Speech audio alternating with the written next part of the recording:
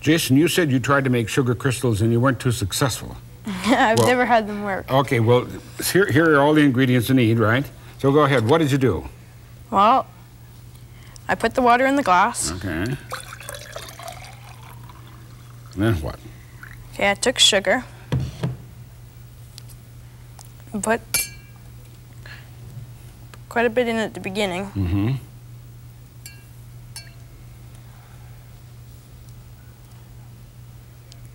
Mix You it up. And you kept adding it until until it was a what kind of solution was it? Saturated solution? Yeah, it What couldn't is- hold anymore. What does that mean? Saturated? Yeah, it can't hold anymore. It's got as much as it can hold. Okay. Let's assume that that's a saturated solution. Then what would you do next? Well, I'd yeah, I'd put a little weight on the end of the string so mm-hmm. it would hold down and just hang it in the glass like that. And then nothing happened? Nope. What happened? Well, usually what would happen is you'd just get a crust on top and it would crust around the edges and you couldn't see anything and you pull it out and there'd be nothing okay, on it. well, I've had uh, quite a lot of success uh, working with uh, sugar crystals. In fact, uh, wow. you can grow one like that very, very easily. Look at it. Isn't that a beautiful one? You shouldn't have any trouble. First place, it takes a long time. How long did you wait? Maybe a couple weeks. Well, at least that. Now, do you know the theory involved with what makes a how a crystal forms inside a solution like that?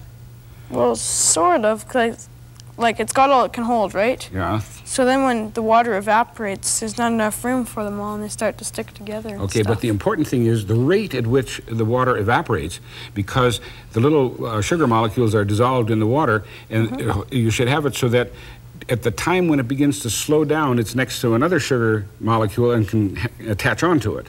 If you evaporate it too fast, they'll deposit wherever they happen to be. So the Oh, rate of evaporation is important.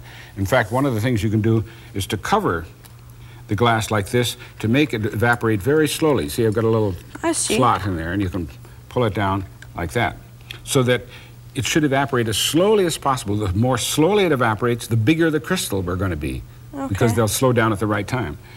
Then, the other thing is, did you start with hot water? Yep. You can start with hot water if you want, but just make sure that before you set it up, it's cool and no sugar is precipitated. Because if you do that, here's what happens. It'll start collecting on the bottom, and that was one I grew that, that was on the bottom of the glass. Why is it that funny color? Well, that's because I sprayed it with paint so that you Oh, can see okay. the you can see all the little planes. So it isn't transparent. Anymore. right, it isn't okay. transparent anymore, and also, uh, you know, the sugar is dissolves in water, so you could drop water on this and it wouldn't wouldn't dissolve. But that's what it looks like when you let it just evaporate it uh, fairly quickly and let it all accumulate at the bottom. If you let it go long enough, you're going to get a great big one like that. Look. Wow. That looks sort of dull and worn away. Well, that's because I've been handling it, but you can fix that very easily by putting it back into a solution, and the the crystals will reform. Oh, So that's an easy way to do it. So now, do you think you can try it again and think you may be able to be successful? I'll give it a try. Okay, just make sure that you have a saturated but not super saturated solution. Okay? Then hang the string in it and control the rate at which it evaporates. So it ought to be in a fairly dry place with a cover on the top so that you can control it.